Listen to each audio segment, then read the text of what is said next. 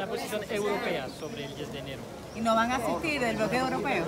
Buenos días. Sí, sí, por supuesto. Sí. Embajador, ¿cómo está? Muy bien, muy bien. ¿Cómo va todo? C'est la personne qui nous a facilité l'entrée.